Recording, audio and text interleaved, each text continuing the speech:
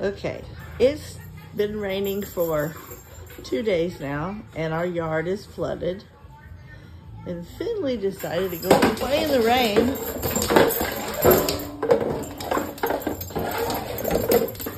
He brought his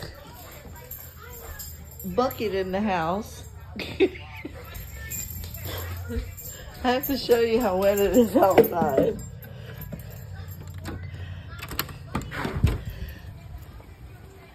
It's wet.